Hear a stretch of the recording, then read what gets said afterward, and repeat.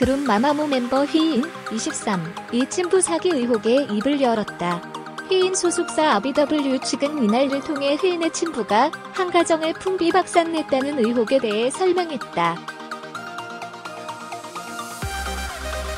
휘인은 저는 친아버지의 보살핌을 받지 못하고 자랐다면서 친아버지는 가정에 무관심했고 가장으로서 역할도 등한시했습니다.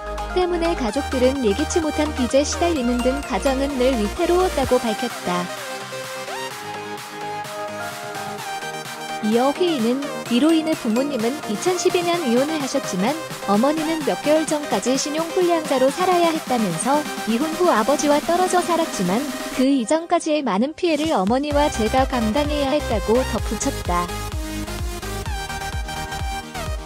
그러면서 휘인은 몇 해 전 친아버지와 마지막으로 연락했을 당시에도 저는 어머니와 나에게 더 이상 피해주는 일 없게 해달라 서로의 삶을 살았으면 좋겠다는 부탁을 드렸고 그 이후 몇 차례 연락이 왔으나 받지 않았다며 지금까지 몇 년이 넘는 시간 동안 아무 교류도 없어질 뿐더러 연락이 오간 적도 없다고 설명했다.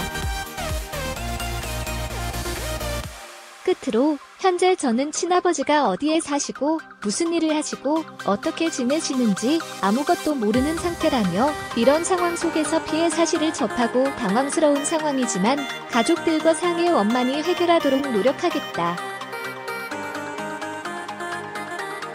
그리고 마마무 멤버들에게도 너무 미안한 마음이다.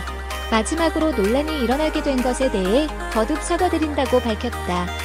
앞서 이날 온라인 커뮤니티를 중심으로 휘인의 아버지 때문에 가정이 풍비박산 났다는 주장이 당긴 글이 확산했다. 글쓴이는 마마무 아버지라는 사람이 운영하던 회사는 컨테이너, 이동식, 화장실 카라반 같은 것들을 만들어 납품하는 업체라며 저희 아버지는 화물을 보낼 사람과 화물 차주를 연결해주는 화물알 선소를 운영했다고 소개했다.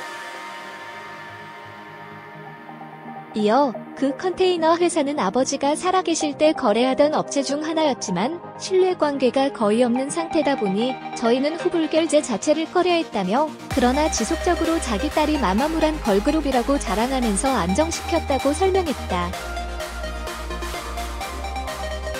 그러면서 딸이 유명한 이민이 어느 정도 믿고 성거래를 진행했으나 그 후 몇 번의 결제를 밀리는 상황이 생기기 시작했고 결국 대금 지급이 늦어져 아버지가 화물 기사들의 독촉 전화에 시달렸다며 아버지는 힘들어하다가 가족력이 없음에도 췌장암 상기 진단을 받았다고 주장했다.